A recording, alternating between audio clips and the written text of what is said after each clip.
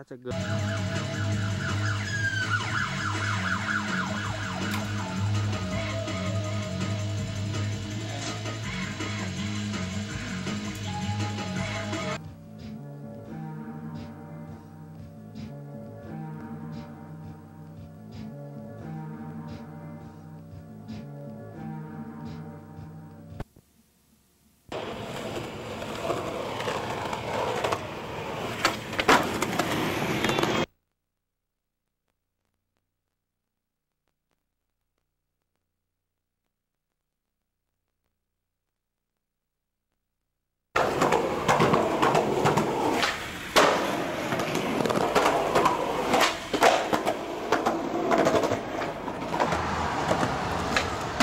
Yeah, Joe.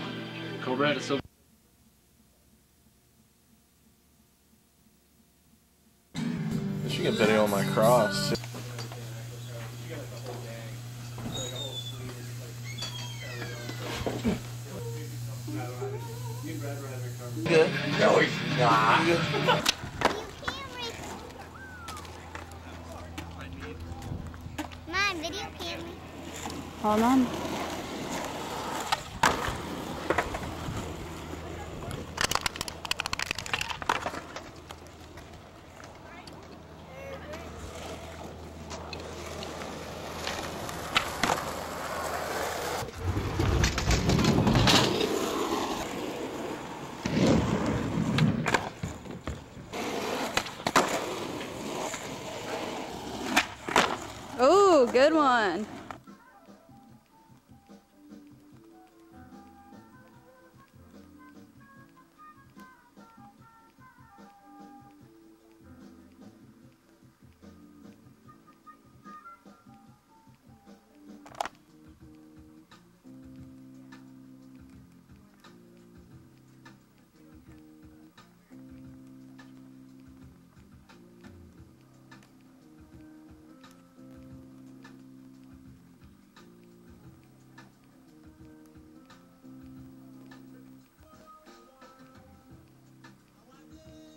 Mind Blown Records and Jay Baller. And these are the last days, as you know.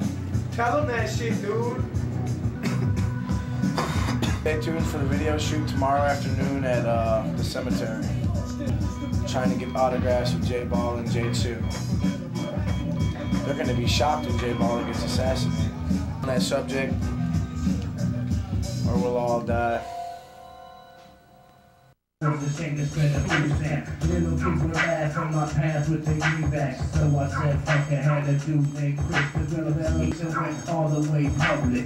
Money was bubbling all around and I loved it. Police drink liquor, brother had to hate quick. So the next couple months, silently behind Richard. Johnson, like I'm invincible. Your attitude, you know you should support the shit. Hop on the phone, don't forget can't play my you chose.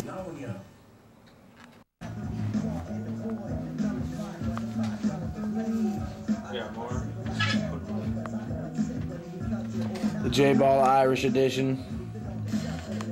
The J Ball ACT edition. Life is about choices. If you don't have choices, you're not gonna make a choice. If you have the choice to buy from five different J Ball albums, that's five different opportunities to make a sale. Most underground hardcore now here available through Webslinger at 068 at webtv.net. Swartz Creek's Most Wanted. All the record release. What's up, man? they all are rolling. Dude. Tragic Son, Jay Chill, Crazy Legs, and T Man, Jay Baller in the crib, and you don't understand the way we control the land. What's up? Y'all gonna be here some? I Yeah, my grandma's, dude, you know we're gonna be here, I gotta get me a paper and shit. Find me a crib. Real Yeah, quick yeah. by the twentieth. Jay Baller, Crazy Legs, and T Man, ripping it up for the two Jeezy down in Flint Town underground. Did you get it? The scene. I went to Flip Town to get my team. Now we back, dropping platinum trash, call us Brown Street. Can you Be a sight, but consume you never everlasting. I flow so fast that you'll be sitting still. Feel like a sludgy with some khakis and hush puppies. Take to the bank of cash in a classic.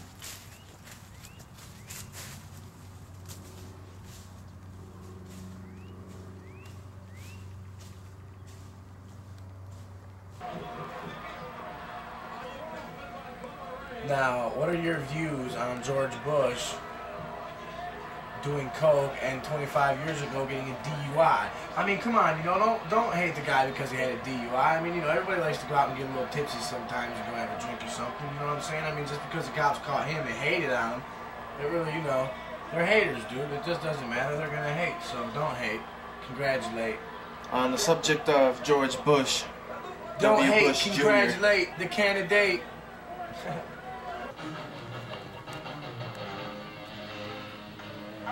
So tell people what you think it does to their mind. Uh, well, I think marijuana, if you use it the right way, elevates you. I mean, if you think about it, it opens other doors. You can explore. It expands your mind. Take the expansion to your advantage and explore it.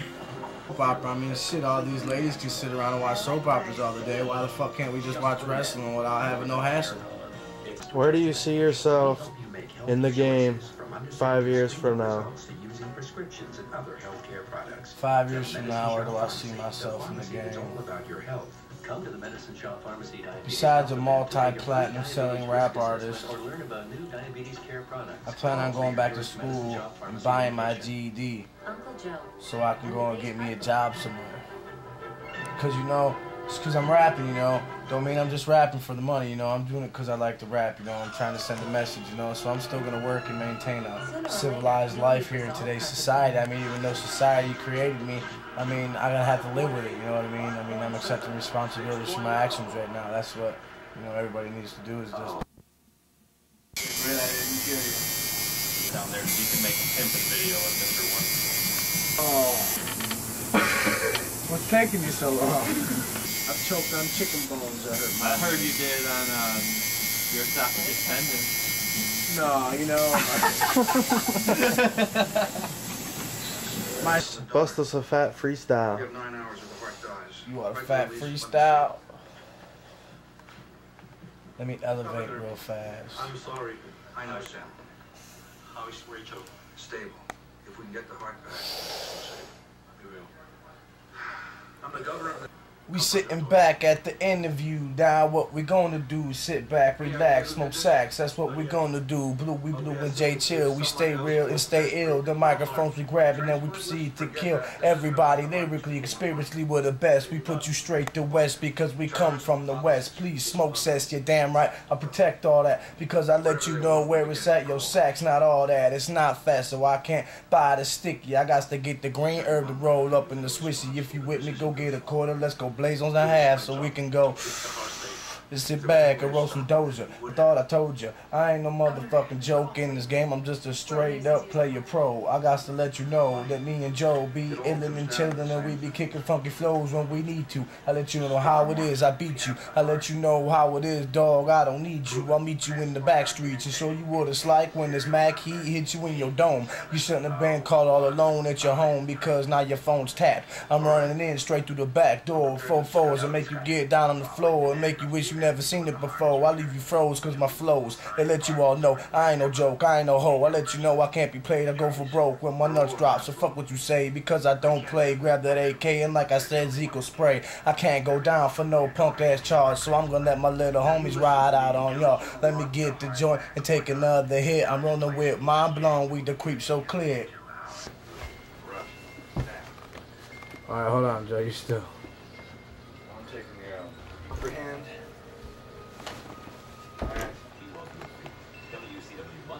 No, or like, is it just recording me? No, it's not. So who's, okay. Called her Caucasian. I wasn't thinking at first. that white girl. Yeah. Well, my bad, you ebony queen. Damn straight. It's like your new quarters. Well, the benefits to driving a diesel versus a conventional gas motor. You get better mileage with diesel. What's in there? Anything? Couple videos.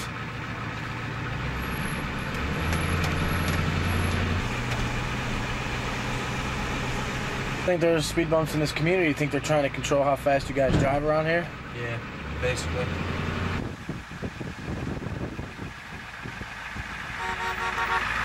Doors open.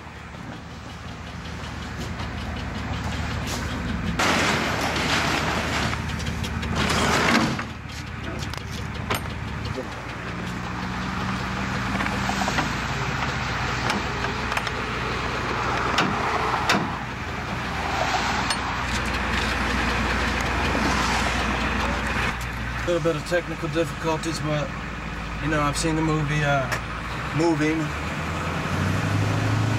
so I'm prepared.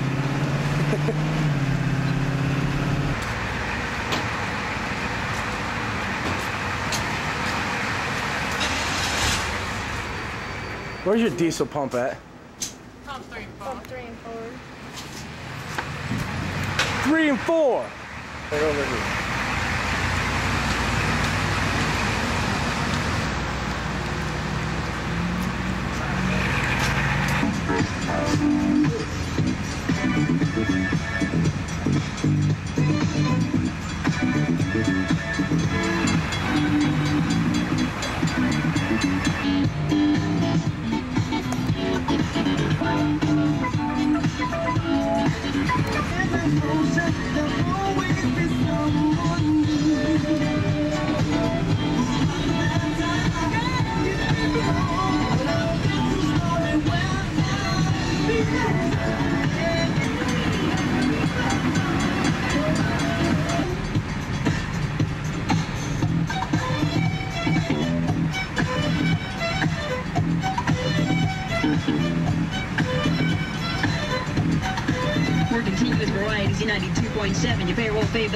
Station. Yvonne Daniels, we're inside another 40-minute music flow with zero commercials on a double play Thursdays. Another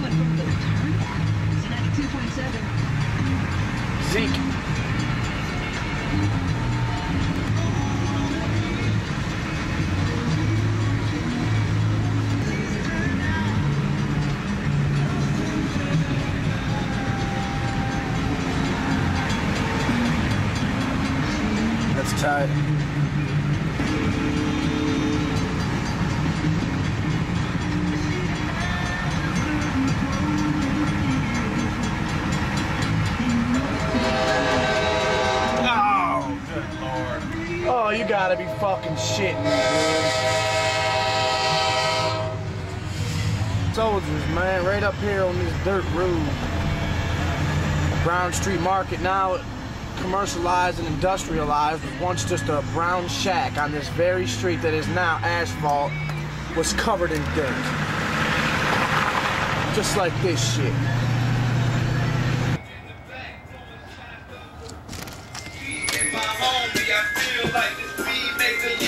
Petey! What up, y'all? Why not? I don't know.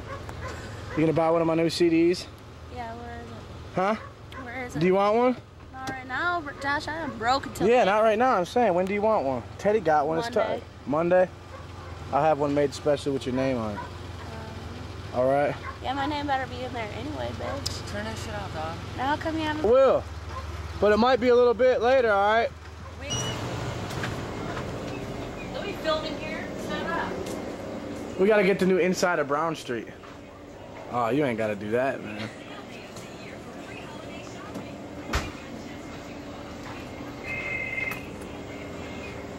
We're doing a documentary on the neighborhood. Because, man. Ready to go home.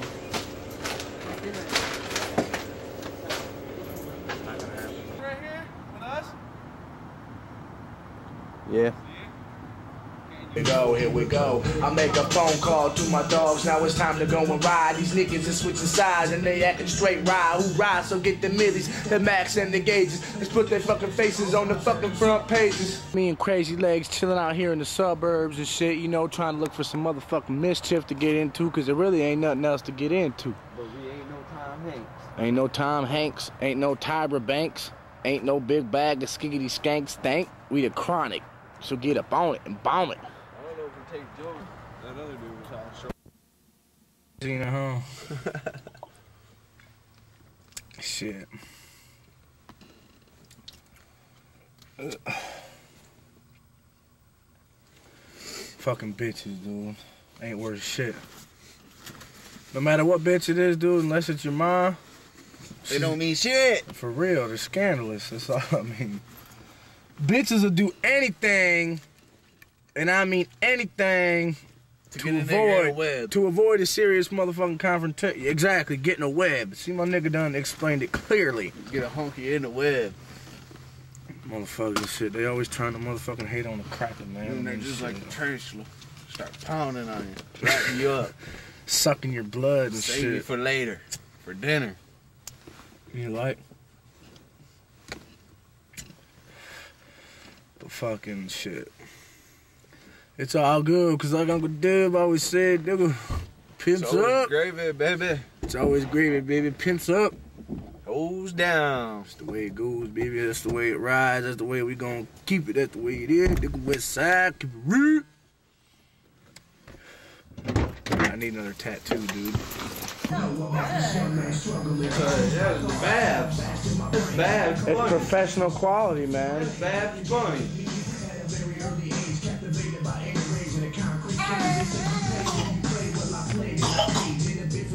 How'd you make that music? On a machine. What? On a machine. A keyboard. You're lying. Trifling ass, lying, no good skeezer. That's what you are. You know that? Huh? Yeah, whatever. Move your fucking hand. No! And get that Turn fucking pitiful lying face on film. I can't believe you. You're fucking rotten. Get away from me. No with that good, rotten. thing. Ugh. You just, huh? Turn it off. Uh-uh. The world needs to know when they see a trifling female. I'm nice. My boys are around is what I mean. No, it's the other way around with you. It's the other way. Oh. oh, so I'm nice when my friends are around, but when they're not around, I'm mean and hit you and stuff? No. yeah, you abuse me all the time. I can't believe you, man. You. no, you're I wish this was lit so I could just. you're nice when your friends are around, but when you're just by yourself, you're an asshole. How can you say that? Because you are. Name one time I was an asshole. All the time. Name something. Prove it. You can't. She can't, Joe. She can't prove it. See how nice I am to her. I come over here and kick it with her, and even though she don't want to hang out, I still sit here and try and cope with her. But she's uncopable. Because she's a think you're cocoon. drunk. Huh? Yeah, I think you're drunk. Tell her, dude. Tell her, dude. Tell you want the panties, yo.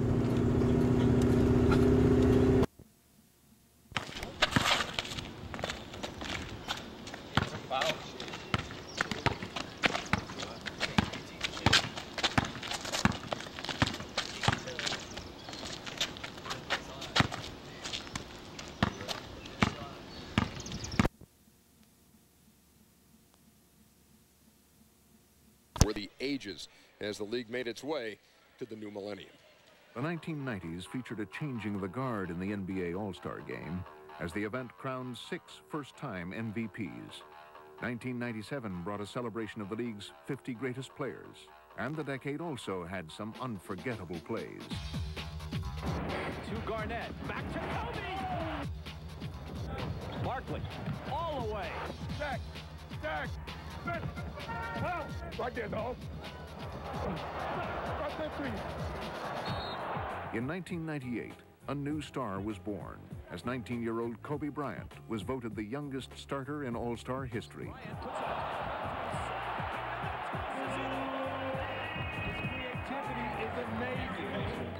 But Michael Jordan led the East to victory and was named MVP, adding another chapter to his legend. There's one star who is the star of stars tonight. I'm only going to allow him to have his trophy if he promises to come back and do it again. But the most remarkable story of the decade came in the 1992 game in Orlando. It was the comeback of Magic Johnson.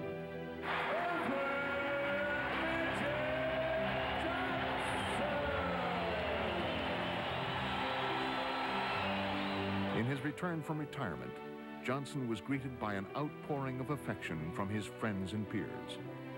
And when he stepped onto the court, he showed he hadn't lost any of his old magic.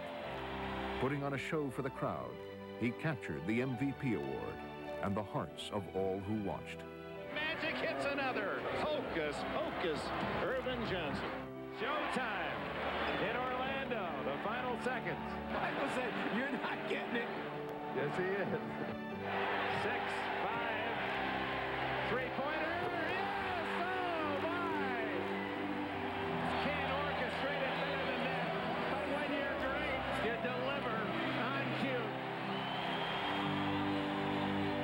Maybe you'll see me back, maybe you won't, but I'll remember the, all these good times this afternoon. I'd like to thank you for sharing this with me. Thank you.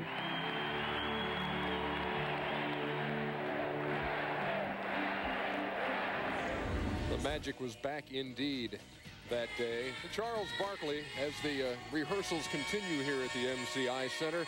Charles Barkley, the MVP in 1991 and Stunning to the eyes, invoking everlasting memories.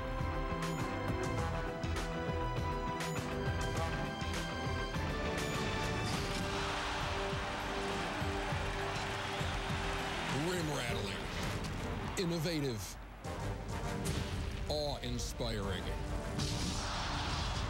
Where athletic legends are born and feats are glorified. For the next hour, the topic is the slam dunk.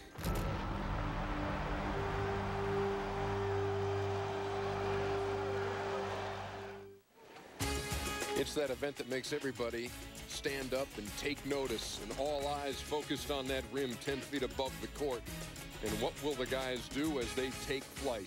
It comes up later tonight here on TNT in the course of our coverage of All-Star Saturday. But to sort of whet your appetite for the slam dunk, we want to look back at all those previous contests and all those previous skywalkers and the guys who tried to claim the slam dunk title. Guys like our own Kenny Smith. Had some fun. Never And had a shot at it. Second place, baby. Second, way Everybody- higher than everybody. hey, no, listen, no. If you don't win it, everybody else come in second place. That's not what my checkbook said. you, now, you guys are sitting here now, and, and you will be most of the night, but as the night winds down, you will move courtside and judge the slam I'm dunk. not judging it.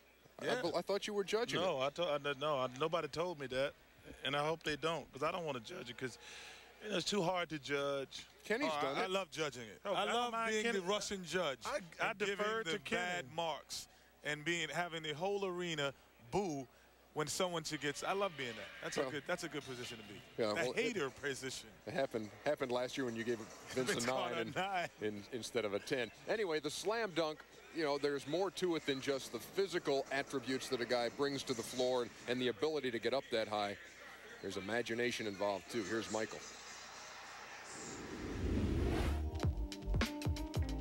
I think it's an all art form of creativity.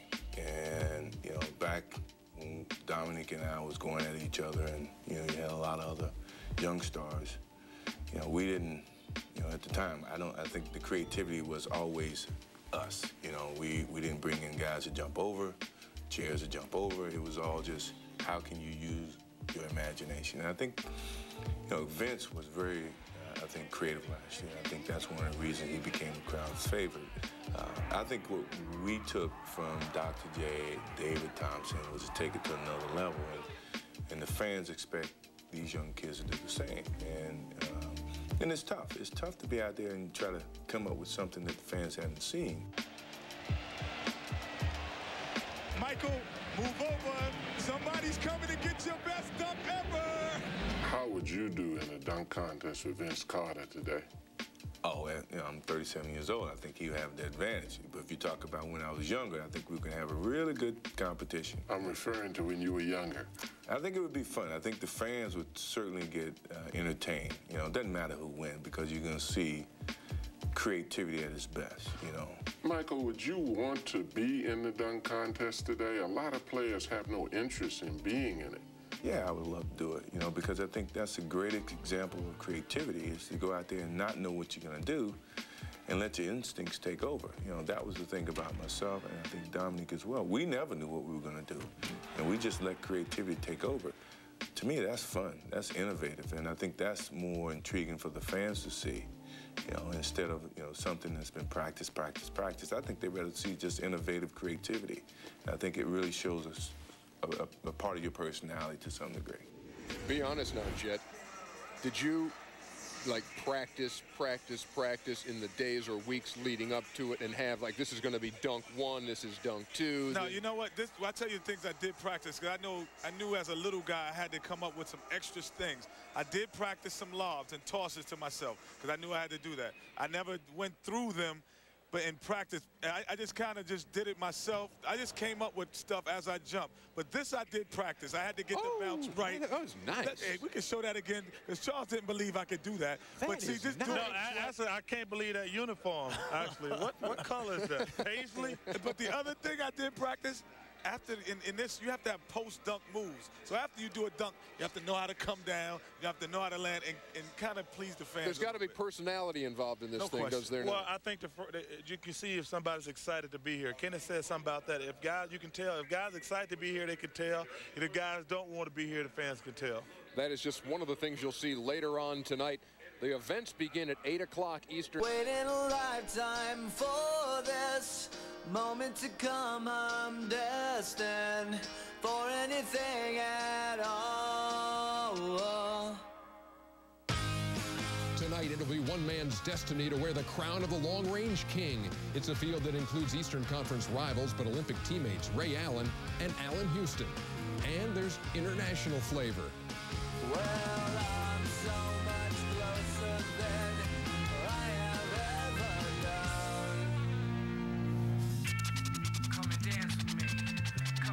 first, stars of the WNBA team up with their NBA counterparts in the third edition of Two Ball. Utah's Natalie Williams teamed with Jeff Hornacek to win it a year ago. Natalie's back this year with a new Utah partner, Bryon Russell. And at night's end, it's the NBA's High Wire Act. The 2001 edition of the Slam Dunk brings six first-timers to the stage. Their DC debut comes later tonight on TNT.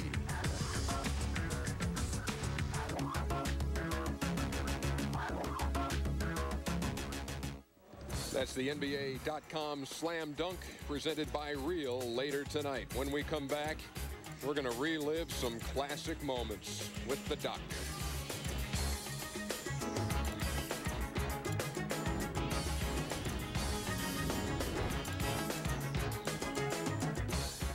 Basketball, the slam dunk contest.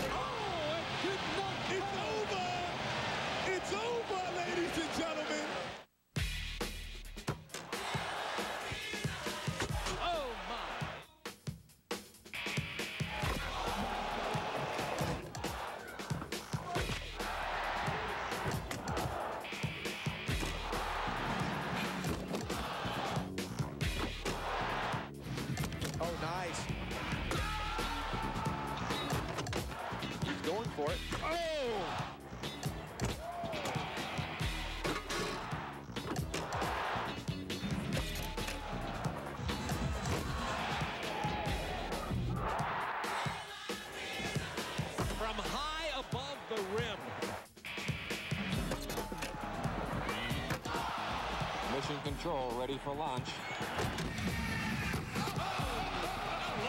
Walker needs a 48.1 first place. Oh, brother. Oh, between his legs. How about it? Woo!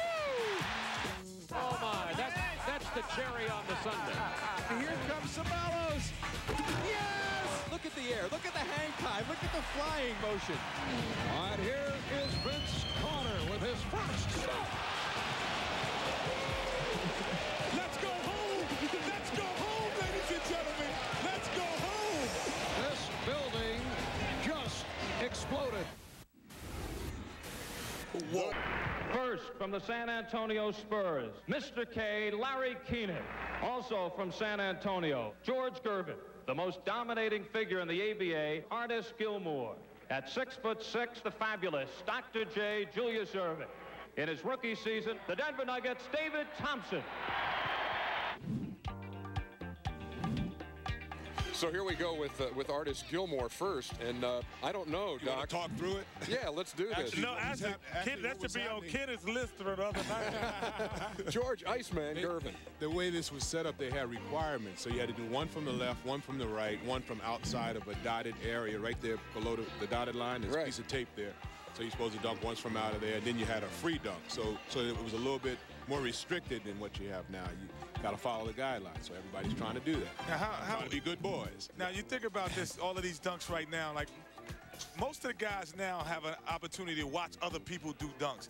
You guys are kind of laying a blueprint. How difficult it was because of that? I think what you try to do is, you know, you do things that you see in the practices, and uh, obviously you see done out on the playground. And uh, then as you advance through the rounds, you know, it's like, okay, I don't want to do the same thing over and over. Kind of like what Larry Nance did when he beat me that night. He was doing that, you know, rocking the cradle from left, right, front, all over. And uh, we were trying to do something different so it would be new and fresh, and you'd have the chance of having that impact on the audience, spiking one and bringing them to their feet. But I can't believe like you have ever seen those dunks before. Like I now, Vince Carter could say, you know what? I'm gonna rock the cradle, but now I'm gonna do it with two. We'll be back as they warm up at, uh, on the floor at the MCI Center. Uh, they're getting ready for two ball. America Online two. Always to see my man Dr. J and the rest of the fellas. Barkley. We, we have been looking. One, two, three. Yeah. This is the championship. Dominique Wilkins and Michael Jordan.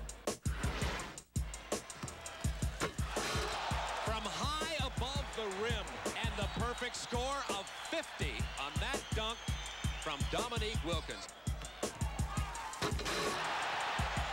He got a 50. We were fierce competitors in, in, the, in the field of creativity, and a lot of times that was uh, shown on the basketball court. And, and, and in this instance, it was in a dunking arena, and, and we had our own little stage to showcase. The thing for me is just the heat of the battle. Uh, it was uh, it was incredible. Was incredible. Going against Mike, I mean, if you can't get up to go against him, who can you get up to go against? And uh, he brought out the best in me.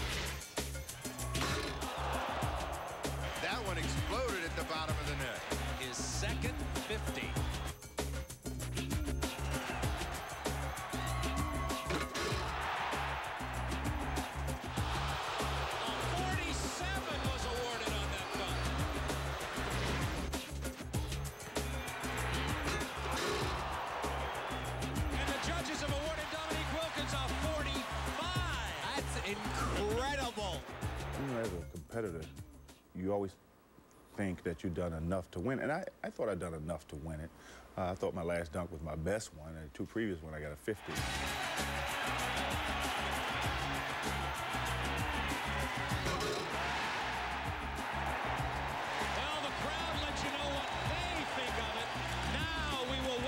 judges, a 48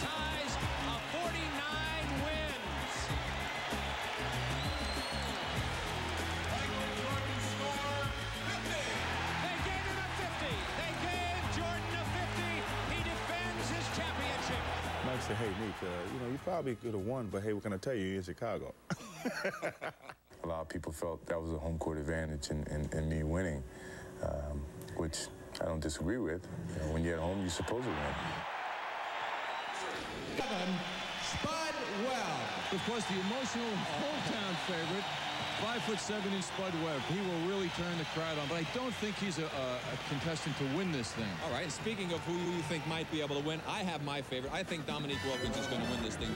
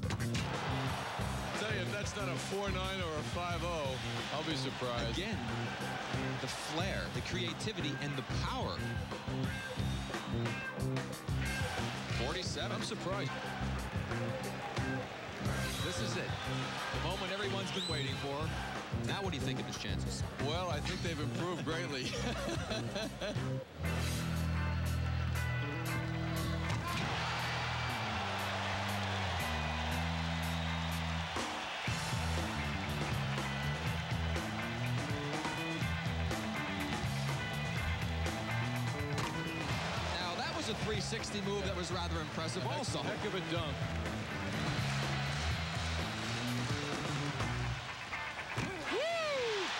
And Spud Webb comes through in the clutch to put the pressure on Dominique. I think Spud had everybody fooled going into that slam dunk contest because he did some things that we didn't even know he could do. I mean, the 360s off the glass, the bounce, and catching off the backboard. And all, that stuff was incredible. Do or die right here. John. That was impressive, but I don't think that was 50. 48. And our new slam dunk champion with an incredible upset, Spud Webb. I was at home and I had the crowd behind me. But, you know, he's a great person, and uh, you know, it's great to have him with me uh, in the championship. We're both of us on the same team. Some of the stuff he was doing, it was beyond belief. I mean, you're never going to see a little guy do that kind of stuff again. Never. Slam dunk competition. I like Shawn Kemp because I think he has a, a blend of the power, finesse, and the speed. But I think the guy who's really going to excite in this competition is Dee Brown. One of the innovations this year, I think, is an incredibly good panel of judges. Remember what they said? They said they want hang time. They want style. They want the creativity part. Plus the little flair. This guy is going to go in all different directions before he dunks his basketball. 47.6. Here's Dee Brown. Oh, he's pumping his shoes up. Oh, there you go. There's first of all, he's got the favorite right there. He's pumping up his shoes.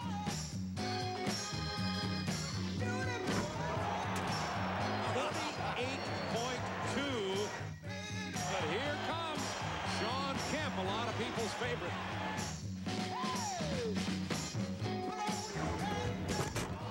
Forty-eight point two.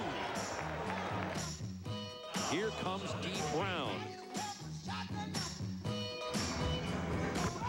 44.2. Moving into the semifinals of the slam dunk competition.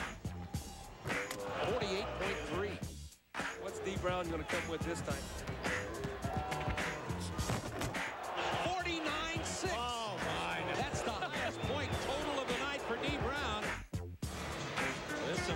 Right here. Yeah, pressure on Kemp. The lob, the bounce, the windmill jam. 47.3. So to advance, Dee Brown will have to have a cumulative score of better than 44.5.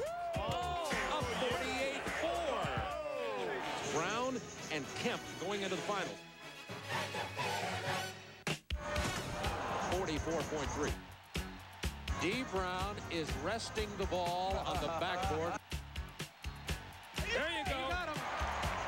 48.1. Kemp has moved about 95 feet away. And he gets a 48. 46.4.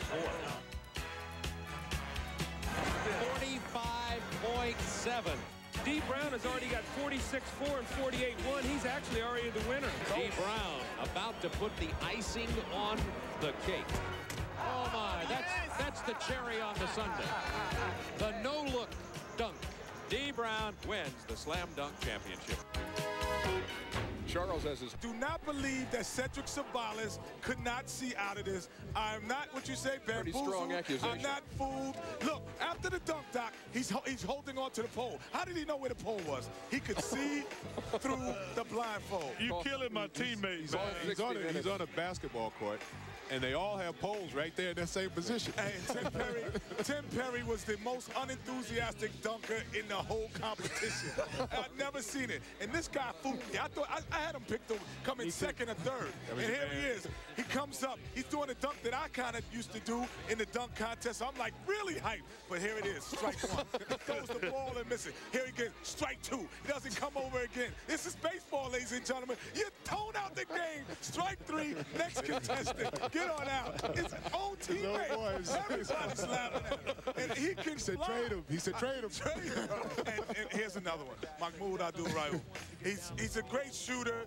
Great person, but he should not have been in it, David. You're Yeah, right. and you know what's he didn't weird? Make His- one dunk. He didn't hadn't make- changed his name yet. Oh, no, He was, probably still, he was still Chris Jackson. Still, Chris J- hadn't made a dunk in the whole dunk contest. Do not get in it. He froze when the cameras came on because in practice he was making all of these dunks.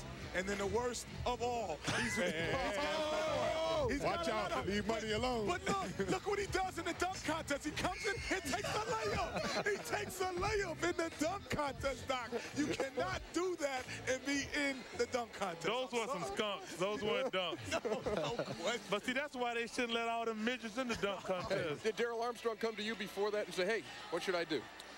I wasn't in Darrell Armstrong's life at that time. I'm in his life now, and he's my man. But I wasn't in his life at that. Actually, I was working for NBC, and I witnessed that In a, contest. in a and- prior life. I wouldn't be surprised if if Kenny was dedicating this competition to to his dad, who uh, just passed away. I mean, that would probably be the type of thing that he would do. He's that type of an individual, and he's certainly responded here. We was playing our final game in Atlanta uh, right before uh, the All-Star break against the Hawks. And uh, my father had uh, suffered several strokes uh, prior, prior to my trip uh, to Atlanta and was, was very ill. Right before we were supposed to get on the bus to go down over to play the Hawks, my brother you know, told me right before the game that he had just got a phone call from home that my father had passed away. With his father's passing weighing on Walker's mind, an All Star Saturday only three days away, Kenny's mom, Ola May, told her youngest son that she still expected him to be there for the NBA Slam Dunk Contest. It was very uh, emotional, very difficult uh, to, to compete in that contest, but I think going in, I, I had a little bit more will to win. I had a little bit more focus uh, than everybody else because of my situation. Walker would win the dunk contest in a rout, completing three near perfect slams in the final round, while the runner up Clyde Drexler failed on each of his attempts. I think that that was my father looking down from heaven, you know, blocking those dunks out of there to, so I could reserve the win in the NBA Slam Dunk Contest. The win in the slam dunk would represent the highlight of Walker's professional career. In the spring of 91, Kenny Sky Walker became a free agent. Realizing he could make more money playing overseas, the 27 year old signed with a team in Spain, where he won that league's slam dunk title. Yo creo que sí, que va a ser el campeón como estaba previsto Kenny Skywalker. Unfortunately, Walker would tear his right Achilles tendon, ending his stay in Spain. Following a brief stint with the Washington Bullets in the mid 90s, Walker finished his career by playing a season in Japan, where he won yet another slam dunk contest. It marked his third title in three different leagues spanning three separate continents. That was a little bit easier to win over there as opposed to Europe and the NBA, but I could be the only guy to ever win uh, the slam dunk contest in three different countries. The 1989 Slam Dunk Championship. Oh, yes. Well, that's, that's impressive.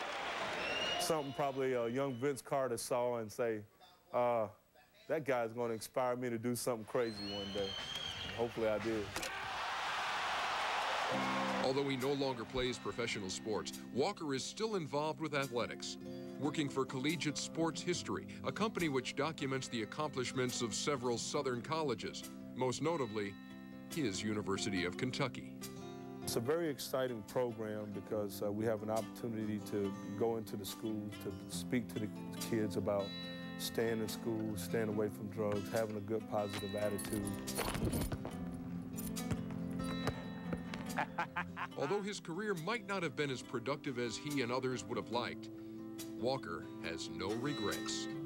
I played 12 years of professional ball and played seven years in the NBA. And, uh, you know, for me, you know, having played there and having played against some really, really great ball players, I feel honored and blessed to be able to play, have said that, that I played in the NBA that long.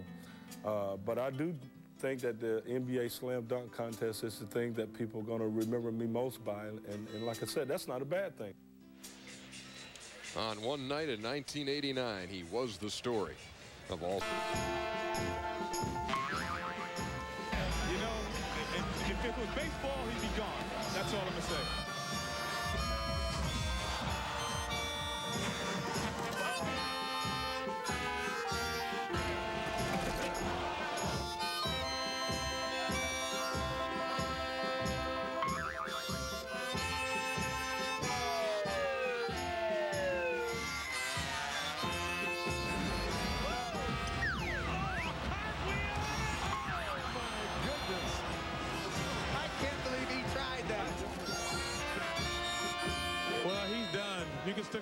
Him. Hey, I've seen this somewhere before. This is a very difficult dunk, ladies and gentlemen.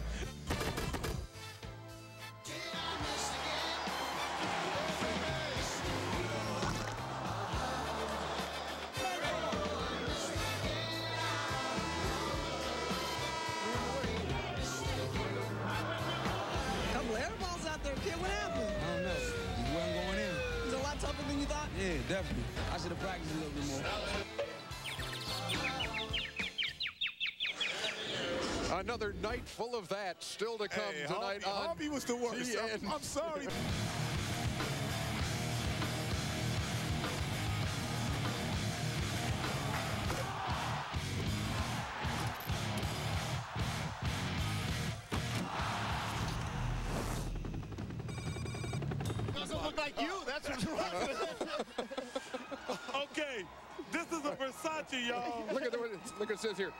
actual weight. at any rate, um, Oh, he's, I, he's on fire today. Ernie's is on fire right now. Ernie, see you later. All right, hey, thank you. See you later, Huggy Bear. Uh, uh, before Sakes, before before Sakes had changed his clothes, he actually talked to Wally Szczerbiak about being the MVP of the Schick Rookie Challenge. You're the most fundamentally sound player on this court. Did you think you'd ever get the MVP? Uh, is happening in this country. This city, I think. It's just the city, y'all. Might be just defense. Hey, man. We might not be here. Let me, I think it's us. Let, no, no, oh, it ain't us. Trust me. Okay. Back here with, with Charles Barkley and Kenny Smith. Coach Thompson. John Thompson joins Coach, us you got to say something about them outfits. I love them. I love them. It go. reminds me of the old Ali fights. Oh. And they were old fights. hey, we're ready for a, uh, a heavyweight fight called the NBA.com Slam Dunk. I thought you were talking about me and Coach Thompson. By real. I'd take him in that one. No, no, I'm a coward. I'm not I, I, can't even run anymore. Don't even instigate that. Let's talk about Coach, I just met heavyweight. some of your favorite moments from past dunk contests. We'll start with Coach Thompson and go back a few years on this one? Well, mine was Spud Webb because he was the least expected in my mind to have won the thing, and I think he got the most out of the natural ability he had. You know, when you look at him, you know, you say Spud Webb's not going to win this thing. He started throwing balls off the backboard, off the floor, reverse dunking. You know, he's the furthest from the rim, too. This was 1986 in his hometown of Dallas. He played for the Hawks. He beat his teammate Dominique Wilkins in the final, and Neek said, guy never practiced, kept his mouth shut, said we don't really have anything going on, and then he broke all that stuff out on him. Kenny, you're next. It's too easy to say Dominique, Jordan, and Vince Carter. So I'm going to go and let you know I'm a real aficionado. Here we got Terrence Stansbury with the Statue of Liberty dunk 360 style, the best. And you can't appreciate it until you see it in slow motion. He's turning, he's still going up as he goes. So I go with Terrence Stansbury. That's a great name from the past. My favorite dunk, you know, until Vince Carter came along last year, but I went back in the past, was it, I'm not sure how to explain this guy, but it's J.R. Rider. he called it something like the East Bay dunk. Funk, funk dunk. dunk. Yeah, careful. That's when he played for Minnesota. Yeah. It is. And there's another look. But he's from Oakland area, so that's where the East Bay comes from. And he is hard to explain. and I'll just go back a year. I know it's easy, but we'll go back to last year uh, and half man, half amazing. And I and I and I picked this sort of because because Kenny uh, gave him a nine on one of his dunks. Everybody in the place knew. That was bananas. I'm Yeah. not, I'm not gonna, I mean, this is this is off. This is too hard to describe. Too hard. You to know the thing, I was watching that game last year. After he did his first dunk, you said, they can go ahead and poll the judges. Yeah, exactly. Because it was already over. What do we think's going to happen tonight of the six uh, first-timers in here? Well, none of them really get to play enough for us to know anything about him. So we're going to be just as shocked as the people at home what happens. I think you're going to... Man, I, that's the worst. Go. yeah, I think the, I think that's the good thing about it because no one really knows what these guys have. And I think they're gonna have something that we I'm not being expecting. serious, Ernie. I think that's a good thing. We don't have a clue what's going to happen. Well, all the guys, I have to go along with these guys. I hate to be in their company, to tell you the truth, Ernie. but all the guys that I picked on here. So, so, so I'm think we're going to come up with something really And the amazing. last thing that you're gonna get, you're gonna get. There's two guys. I'm not gonna expose them now. I don't know if they should be out there. So you're gonna get a couple of those out there. They're gonna So be on your That's skunk- good. To, they're gonna be on my Skunk worst, list. the skunk list instead Hey, of the dunk I'm going to pick a surprise guy. I'm going to take a chance. I'm going to go with the young guy, Jonathan Bender. All right. Thank you very much. I'm going with uh, Baron I'm Davis, by with- the way. I'm going with Stevenson. All right.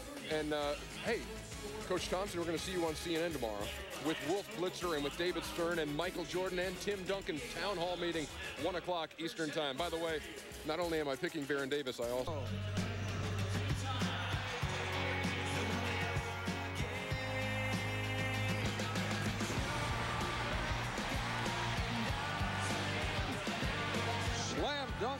competition coming up next.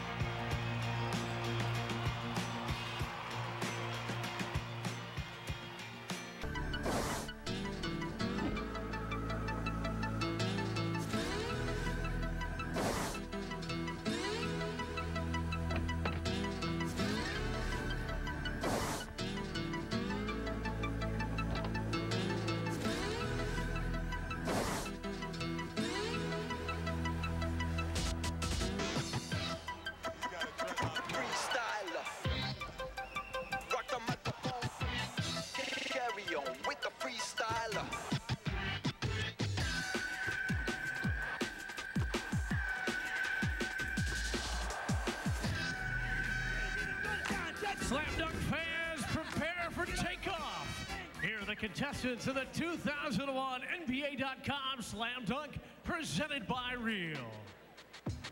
From the Charlotte Hornets at six foot three, Baron Davis.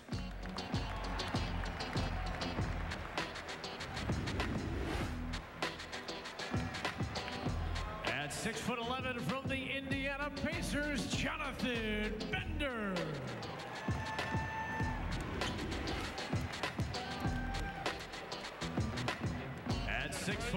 from the Los Angeles Clippers, Corey McGinney.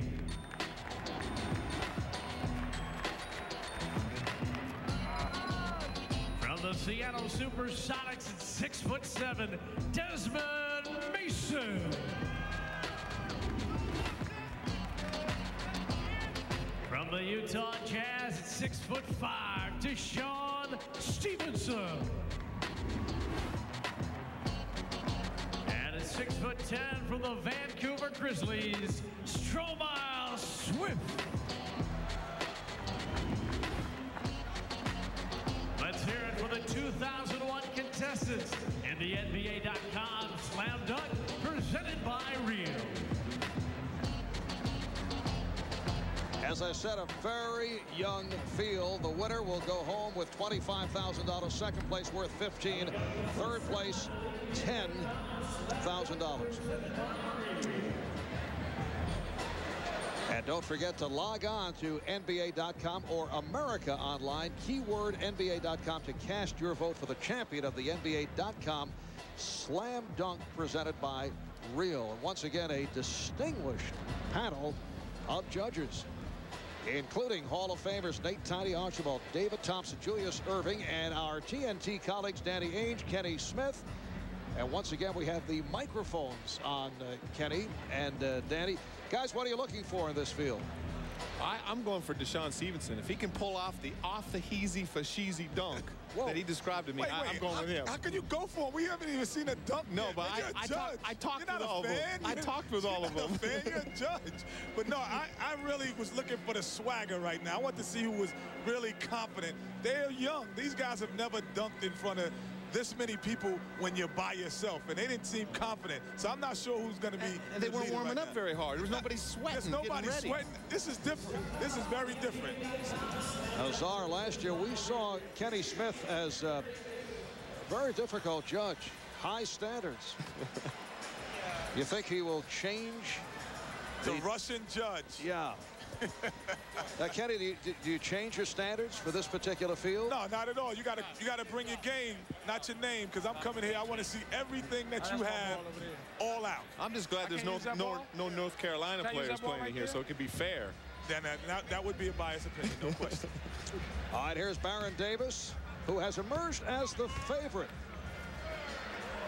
Out of UCLA, remember the Charlotte Hornets, who has really come on and this is second season.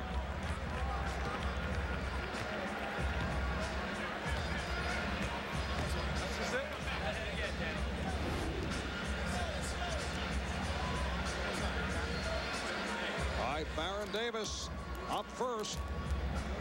Well, that's not too simple. It was a perfect pass, but he just jumped so high anywhere around the rim. That's a dunk. Yeah, the reason I gave him a higher score, I would have gave him an eight, but the the height at the- which he threw the alley-oop to himself made it a little more difficult. And it was a perfect on the first try. Perfect on the first try. Yeah, no baseball three strike, strike stuff. None of that. Well, an impressive number for Baron Davis. Gets nine across the board for a 45 total.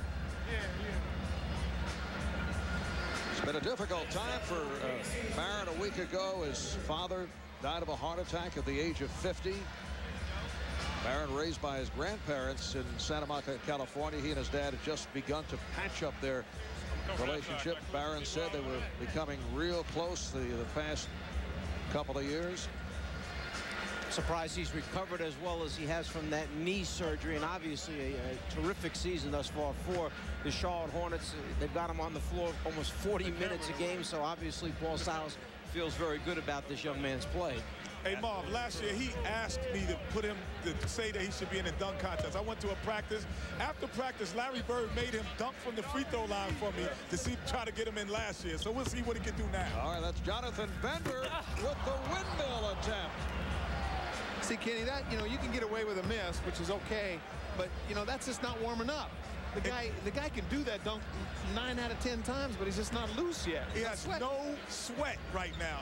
I don't know anybody who can do it without a sweat. Well, there it is, Kenny. There's one that can do it without a sweat. But the second try, though. Second try. Judge the first dunk.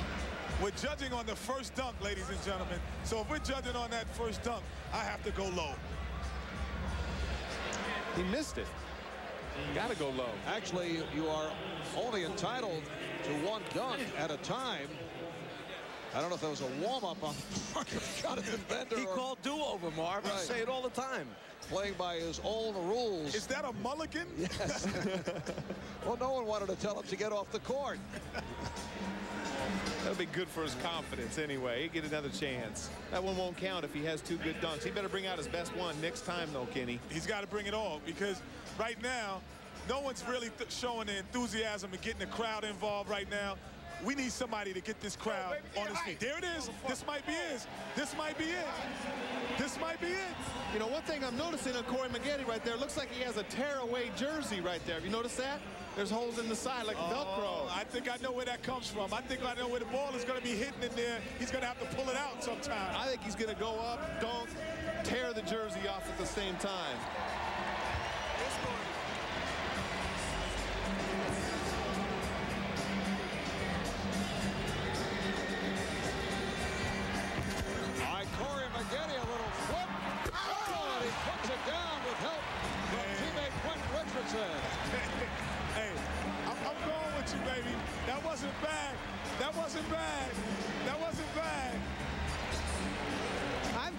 Talk to Alvin Gentry about Clipper practices. I mean, how much time do you have to work on somersaults in practice?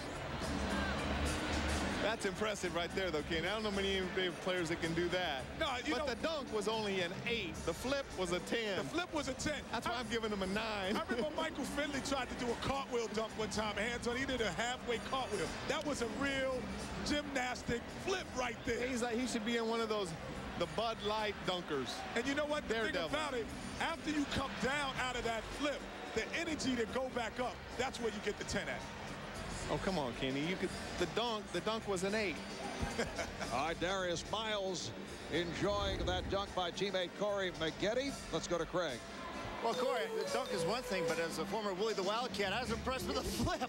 How do you practice things like that? Uh, you know, I was just practicing at home, trying some different dunks. I mean, I just figured I had to get some creativity in the dunk. I had to try it, and, you know, I guess it went through. Danny was expecting something from you. Also mentioned looked like you had a tearaway jersey on. Is that something you have planned for later? Yeah, I got that planned for later. I got that planned for later. So, you know, I'm going to hold that up and show you the next next dunk I'm going to do. How about a backflip? Oh, I ain't going to do that one yet. I ain't going to do that one yet. I might, have, I might bring it out if I get in the second round. All right, thanks a lot. Back tomorrow. Well, the judges liked it, as you saw. A minimum of one dunk in the first round must involve a teammate. So Corey Maggette combining with Quentin Richardson. So Maggette with a 46. Baron Davis opening with a 45. You know, you never asked me. We, we heard Kenny's pick. Yeah. We heard Danny. You never asked me who I thought was going to win. I don't see that question coming. we'll ask you, Mike. Who's going to win? well, I don't see it coming. Thanks for asking, Danny. Hey, hey, I think me and, me and Tiny Archibald, so scores are mixed. I gave him a 10, and it said 8 on the thing, so our scores are mixed up. I, I like that dunk. So I gave that a 10. I would be embarrassed to admit that I gave that a 10. Yeah, that was a 10. All right, here's Desmond Mason of the Seattle Supersonics, rookie from Oklahoma State, first round pick of the Sonics. Oh, Mason trying to put it between the legs. Oh, he attacked the front of the rim. There's another guy. No sweat. yeah, you got to get loose. You got to get loose to try that the first dunk the without first sitting on the dunk. bench. Oh, my goodness. That's kind of like the first pitch from Ryne Duren coming out of the bullpen years ago. Ryne Duren. He can make that dunk, though. He can make it easily if he was sweating. I agree. Uh, the czar with a sense of history. Quoting. you know what I'm going to do? I'm going to do like coach used to do in practice. Everybody take three laps and come back in. Get ready to practice. You're not ready to practice yet. That's what Coach Fratello used to do when I was with the Hawks. Well, Coach Fratello, he's had three slam dunk champions. Yes, he Larry had. Nance, Spud Webb, well, and, wait, wait and a Dominique. Second. He had two. He will explain why he thinks he had a third. Well, because he takes credit for Larry Nance. I mean, I, I coached three slam Larry, dunk champs. Larry Nance won it before you were coach of the Cavaliers. I still, I still oh, coached please. him. That's the idea. That it was. All right, here's DeShawn Stevenson, the 19-year-old of the Utah Jazz, and he misfires. See, that's the inexperience I was talking about, Marv. See, being a dunk contest person and aficionado, you really have to come out with the ball in your hands. You got to keep it in your hands for your first dunk because you want your first one to go down to get your confidence. That's a dunk he can make, but he doesn't have his confidence up yet. Stage fright. Stage fright. Dr. J over here said it's stage fright. It's the first time, so you should keep the ball in your hands the first time because none of these guys are been in the dunk contest before. Well, DeShawn Stevenson won the McDonald's All-American Classic when he was in high high school. school. I know it's a Ain't no burgers here, baby. But you got to come out. You got to just get warmed up, though. You Ain't got to no have burgers here, man. this is the real deal. All right, let's see if Stromile Swift will have learned from what he has seen from uh, some of the other competitors. Somebody like to ask me who I am picking to win this? Uh, you picking the Stroh show, I'm assuming. I am picking the Stroh show. Is this after you saw other guys having problems in No. making the selection now? I'm, I'm picking him because Shaquille O'Neal said that he's going to win it. Here is Swift. Oh! Yes. Uh-oh. Uh-oh. Better put some stickum on the hands. I think that's a do-over. I think it's a do-over. The ball was wet. That was a wet ball. That's a that's a replacement dunk. Yeah, they're saying it was not a true attempt, and now he puts it down. That's what I'm talking about, Kenny. Hey, you know what? He, I think he's gonna. Right now, he's the clear favorite. Even though I might not give him the greatest score, but he's gonna be the favorite. Stromile Swift, first round pick of the Grizzlies, second selection overall in the draft. Oh, following two years at uh, LSU, not getting the playing time with Vancouver, just 21 years old. Kenny, don't penalize Stromile because maybe I didn't give you as many minutes as you wanted back in Atlanta now, just because I picked him. Don't penalize his score. The only reason I penalized him and didn't give him the 10 because he didn't really put enough funk in it when he turned around. He just did the basic 360 that we've seen over years and years to come. But his head was about three inches from the rim. All right, Stromile Swift with a 45, receiving nine across the board. Let's go to Craig. Well, you got a 45. That's the inexperience. If you if you don't need a great score, keep the ball in your hands, get to the next level. Let's check in with Craig Sager. Well, I'm with a two-time NBA slam dunk champion, not just any two-time NBA slam dunk champion, Michael Jordan. First of all, tell us about the competition here. Kenny Smith thinks he should be playing more to the crowd. Well, he, you probably should be, but I mean, it's hard. You know, the, the fans had the opportunity to see Vince Carter last year, and you know, he's not in it this year as well as you know Kobe's not in it. So I mean, you know, quite naturally, uh, it, it's going to take a lot for them to get excited. I promise you. You always performed under pressure, but in the slam dunk contest, 85, 88, of course, you had the big one with Dominique Wilkins. Three times you had perfect scores. What did you try to do? I didn't know. You know, the one thing that you know, about this whole this competition, you just try to create, and whatever your mind comes up with, that's what you try to do. It's hard to practice and you know, you know, try to do something before. You just got to come out and let it happen. Well, let's, go, let's go back to Marv for a second, Marv. All right, Craig. Michael wearing the sweatshirt. Is he uh, looking to take the court? Well, you notice what he did. The first thing Michael did is he snuck in his Carolina alumnus. You got Vince Carter's name out there. He knew that was coming. I know he didn't mention Kenny Smith's dunks.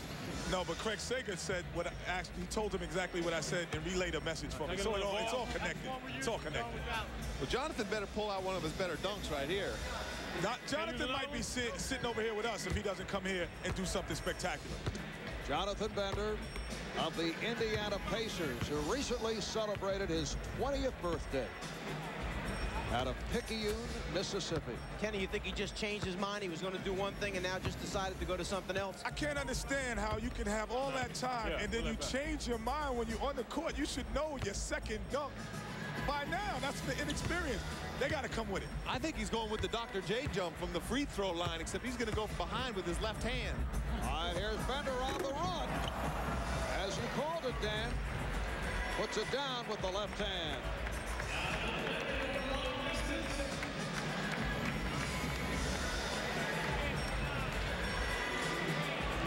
See exactly where he took off now on that. Just inside the free throw line. You know, he was going to try to take off from behind it. He was going to put some tape up, but just barely. That's a pretty impressive dunk up with his left hand. A pretty impressive. He, he, he didn't dribble the basketball.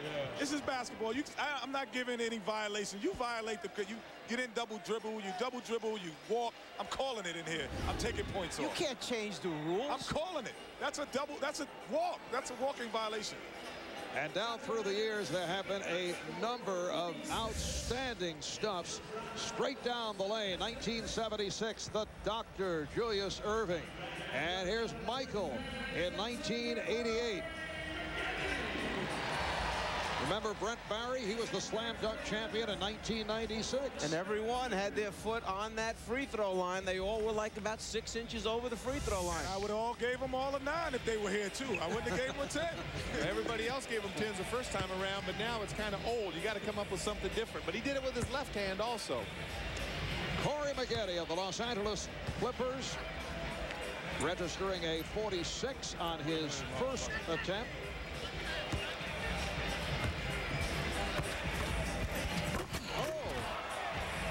Windmill effect by Maggette. Playing it conservative that time, going for the sure thing, putting it down. I'm not mad at him right now because it's the first round. He had a good score. And Hey, keep yo, it simple. man, Balls is horrible. Balls is horrible, dog.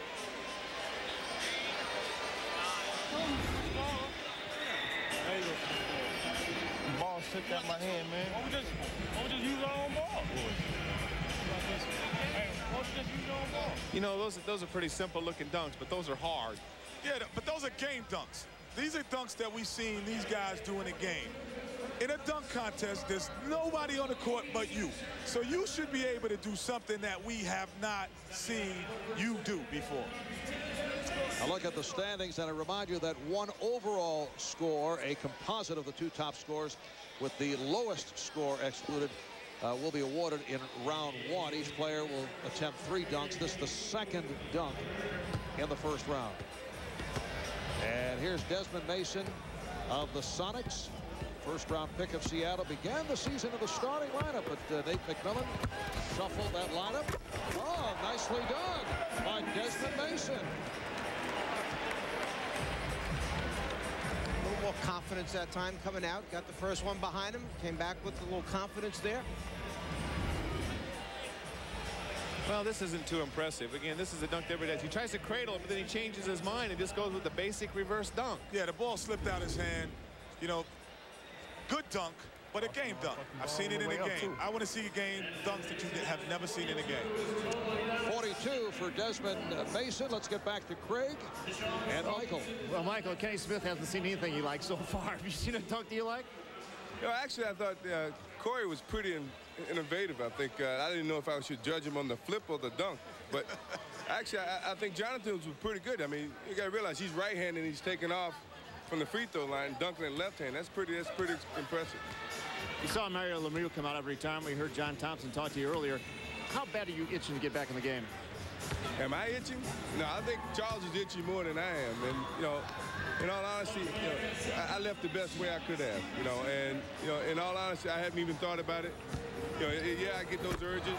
But right now, I can't say that I will or I even, even consider it. Charles, he needs to lose about 800 pounds before he can even consider it. Well, I don't think he can get up like DeShawn Stevenson just did. What do you think of this? That was pretty good. I enjoyed that. I think that was very creative. I think he, you know, this kid is is real young, and I think he's going to continue to learn more and more about his basketball skills. But you can see he has great creativity. There's another look at the replay. Kenny says you should do dunks that you don't do in the game. You should be more innovative. I think you should. I think I think this is probably the only time that your creativity can just go wild. You know, in, in a game you don't really have time enough to do it. I think you got to worry about scoring the basket. But out here, you just let it go. You know, whenever you think think about, just go out there and try it. We got a 46. Let's go back tomorrow. All right, thanks, guys. So DeShawn Stevenson, the 19-year-old first-round pick of the uh, Utah Jazz, with a 46 as the follow-up to the 30 on his uh, first attempt, which was a miss. And here is Stromile Swift of Vancouver. I think he's got a little something special for Kenny right now. Right now, he, to me, he's kind of the favorite just because of the height is what he did it. And he did kind of let his body go the last time in the dunk.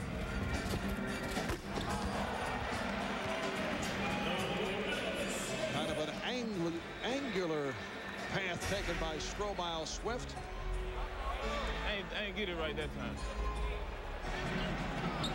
He just does it so easy. You know, here's a guy that's 6'9 and jumps pretty easy. Pretty basic dunk again. That was some that's something he would do on the fast break of a game. No, I seen him do it with the left hand a little bit better in the in the game, but I still think he's the favorite. That'll get him to the to the next round though. Not if you keep giving him aids. Stromile checking the score and a 45 to match the number that he picked up on his first dunk. So after two dunks of the first round, a look at the competition. We'll be back with the third dunk on round one in a moment.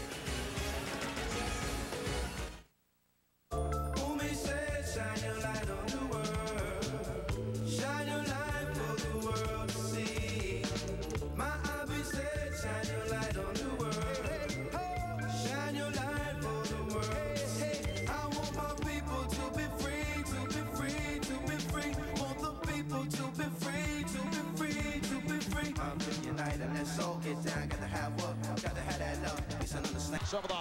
of the first couple of dunks on round one.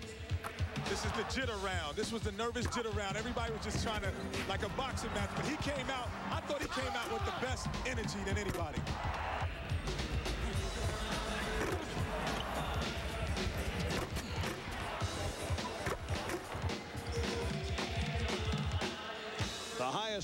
Highest individual. Would rather do three straight dunks in a row or have all this time in between each one of your dunks? Uh, I'd rather have time to sit around and think about it. I don't know what David Wesley's doing with a camcorder. This is great. And he made a great pass. This one is starting to heat up right now. I got to see the replay again. I wasn't even ready to watch it. That, he is getting ready right now. He's heating up right now. It's nice, it's nice, it's nice. A minimum of one dunk in this first round must involve a teammate, but this was rather unique. Well, this is a teammate and a prop at the same time. Do you get extra credit for the camera?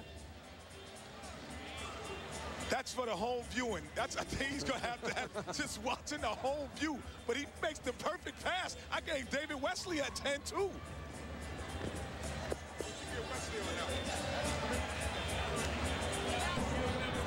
I've had this replay before. Laying on the ground with guys dunking over me. I, have been in there. I've been right there.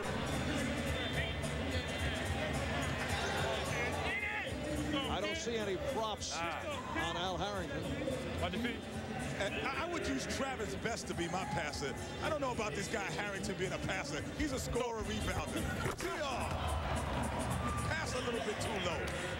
That's what made it hard, Kenny, is that he threw it down low. It's like a bad pass drill. You got to catch it low and get it up quick. That's just what he did. Right, but he didn't give him a time to get the illusion going that he's doing more with the basketball than he actually is, like moving it around. He just had to catch it real quick and dunk it because he threw him a bad pass like a forward. But that's much harder than throwing the ball up over the top of the rim and letting him catch it and dunk it. Get Travis Best out there, he would have got a 10 from me.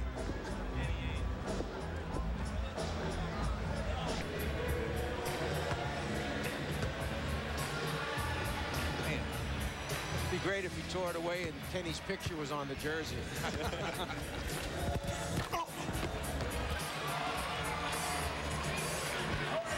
What do you think? On, on the left side. oh, no. Yeah. Mixed reaction from the crowd. Because we thought it was a real game. We didn't think this was a dunk contest. I thought that's a that's a real game. Just regular, go to the basket, put it in as hard as you can with authority. I'm not sure he knew what he wanted to do as he was on his way, and he got there and all of a sudden just kind of played it safe. Yeah, but you can't play it safe. Over me if I was Rashard Lewis. Desmond Mason positioning his Seattle teammate, Rashard Lewis. He, he needs a 48. Uh-oh. He might go on his back and then do it. How about that? Can you run up his back, jump off his back and dunk it? You can. You can for, for six. you want to put your, the team's best player out for the rest of the year? Oh, Mason got a piece of Lewis. They're going to give it to him again because that ball that wasn't a, an attempted dunk. Little kick in the back. It's a slip, but in a game, if that slips, the other team gets the ball. That's a that's a dunk for me.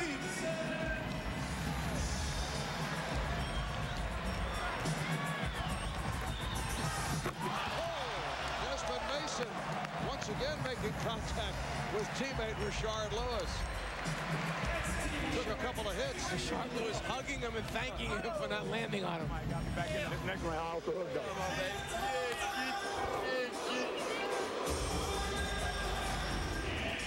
got to see the replay here, Kenny. Did he really jump over the top of him? From our angle, we can't really tell if he jumps over him. He doesn't jump side of him. He goes right over the top of him.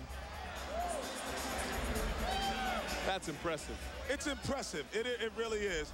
But Now, also, that's better than Baron Davis's dunk. Okay, but He let me threw tell the you- ball up right by the rim and he caught it and dunked Let me tell you why. Vince Carter jumped over a human being that was seven foot three, standing up. To the final round, he has his teammate, Bryon Russell, with him.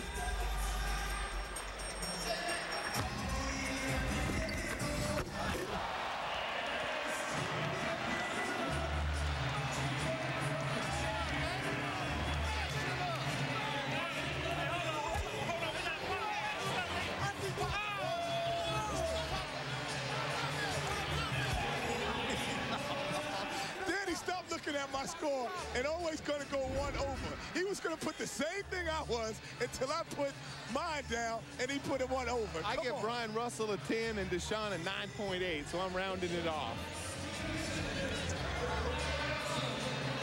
Sean Stevenson, who made the jump to the NBA out of Washington Union High School in Fresno, California, one of two high school players to join the league this season. The other Darius Miles of the Clippers, and a very impressive ball up. It was early. It was early. He caught me early. He caught me early.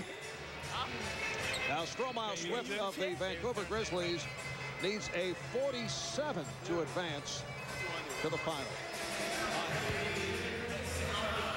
I'm gonna squat down. You just go Now, Kenny, this is where the young man really must understand the rules of what he has to do to move on to the next round. Well, if Damon Jones can be inventive and innovative, he maybe can make like he's sitting in a defensive stance and he'll be in the same position. Right, But they- they- Damon's not a defensive type player, so he's not even thinking that. He can't squat down low enough, you're saying. hey, but they're going to just throw the ball up, it looks like, and then Stromile's going to catch it. But hey, he needs a dunk. He's got to get a 46 and a 47. What does he need to advance? 47 to 46 would force, believe it or not, a dunk off with Desmond Mason to make it to the final round. As Kenny mentioned, that's Stromile's Vancouver teammate, Damon Jones. I wonder if he knows what he needs to advance. Well, I'm trying to figure out a two. It looks like Damon's going to do some passing. Why wouldn't you bring Mike Bibby? I don't understand it. He's Damon- the best three-point shooter on your team, but not the best passer. A big country's the best passer. I'd like to see him jump over big country.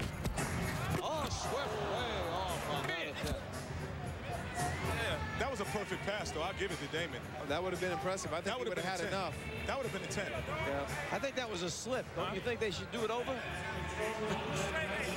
I think they're ruling it a dunk, an attempt. He had it in his hand going to the basket. There's your guy. He's going home. A distant champion. Here's Desmond Mason. Ooh. That's like the old Michael Jordan, a little bit different angle, but with the left hand again instead of the right. And he's getting better and better as this competition goes on. You see his confidence has grown now. He feels very comfortable. He's showing us something here. That's impressive dunk right there. It looks a lot better in slow motion, too. Yeah, if I had the benefit of slow motion, I might have even raised my score, but I didn't. Fast motion, I give him a nine. But that's good right there.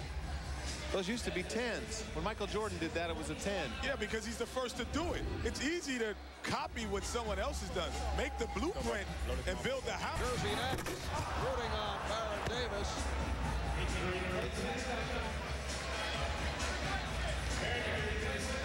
Got replaced? One replacement in the finals right here, so this is good. But he's going to try to do something different, I think. That's not good enough right there, Kenny. No, that's a, that's a first round dunk to kind of get your jitters going. Get I, the any dunk that I could do doesn't count. Oh, lot better, lot better. I can't do that. That's a Dominique Wilkins dunk from a few years back. And Davis is not six foot three, by the way. He's your size. He's about six Watch my next. Watch my next one. Pull out the secret weapon.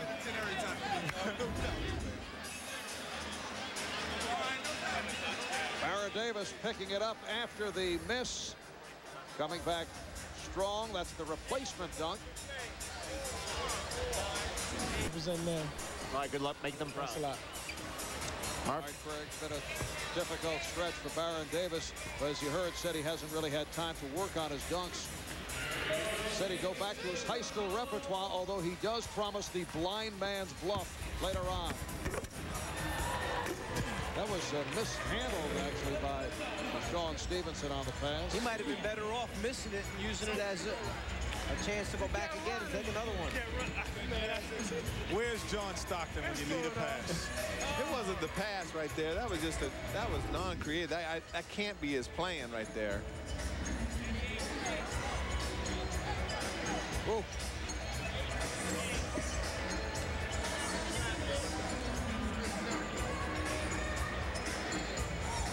Yeah, that's not. Now he's leading Kenny, but he had a miss. So he doesn't get a replacement. He's got to come up with a good one here to maintain his lead. But he's been the most consistent.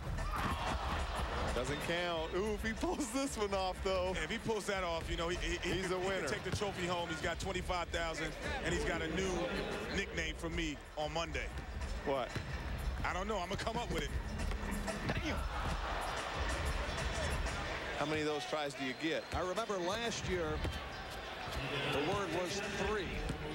Yeah, But- Larry Hughes. I think that's the was Larry Hughes rule. Yes. That's the Larry Hughes rule.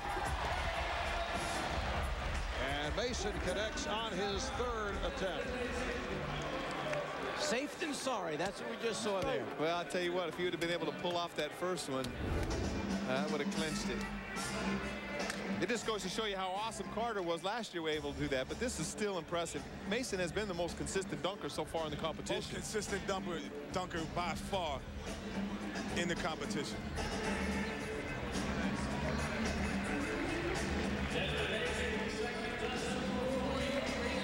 that Cedric Ceballos really could not see. Baron Davis can see. He can see. He is fooling us too much. He can see. I don't know what kind of gimmick he has, but he can see. Well, you said he had to get the crowd involved. He's getting the crowd involved. Look at that hole right there. I can see your hole, big guy. Baron Davis needs a 46 to win it. Stevenson has already been eliminated.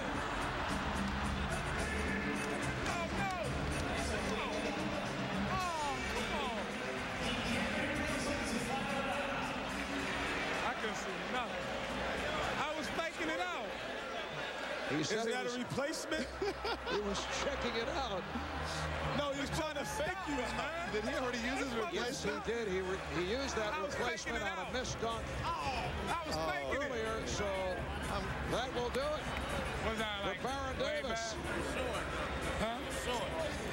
And the winner is Desmond Mason of the Seattle Supersonics. Let's go to Craig. All right, Baron. First of all, you did not get the dunk. You did not win the competition, but your integrity is intact because they're giving you a lot of grief saying you could see through that. Obviously, you couldn't. Look at this, man. You can't see no holes. Ain't no holes in this. I couldn't see. But David wasn't supposed to stop me. I told him stop me if I'm not close enough. But, You know, you could have cheated and put some holes in there. Nobody would know the difference. oh, well, I guess I messed up. It was good fun. Great effort, though. I appreciate it. Thanks. Marv. Well, the blind man's bluff. I'm worse. That's going to be in your That bottom. Darrell Armstrong has just moved down on my list.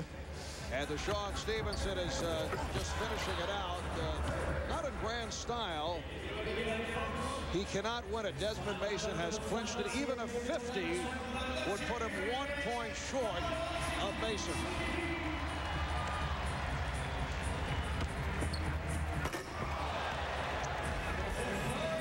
Finish, but it will not matter. There's some power right there. That was beautiful, though. He wanted to go between the legs, and then the ball came up too high.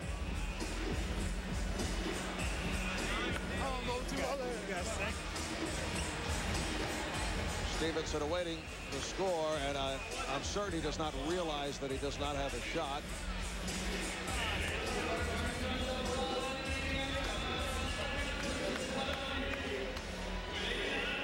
But there's no question that Desmond Mason of the Seattle Supersonics, the rookie from uh, Oklahoma Hey, I gave you I gave you a low score, but I didn't give you lower than what they got.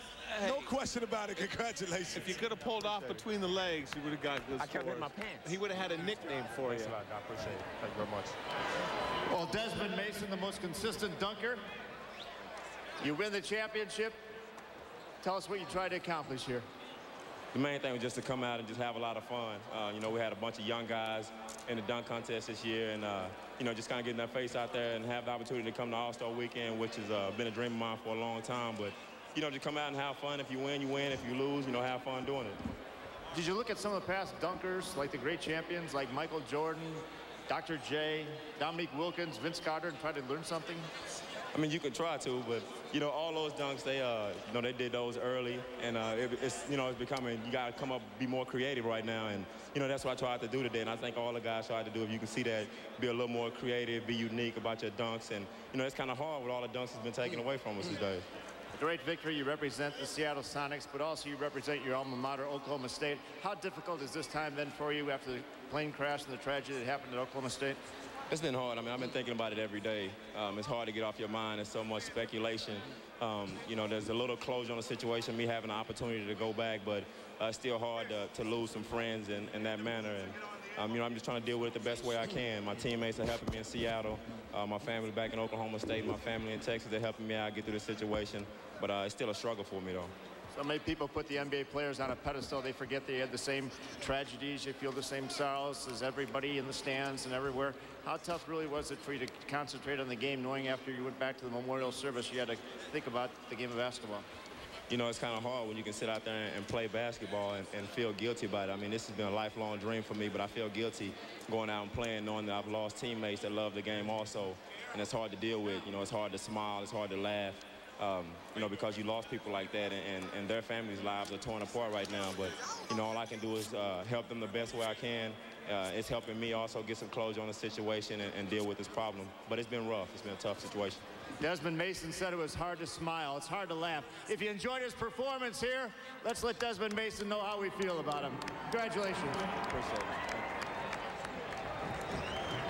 All right, thank you, Craig. Desmond Mason is the NBA.com slam dunk champion in the final round, defeating the 19-year-old DeShawn Stevenson and Baron Davis of the Charlotte Hornets. We'll be back in a moment.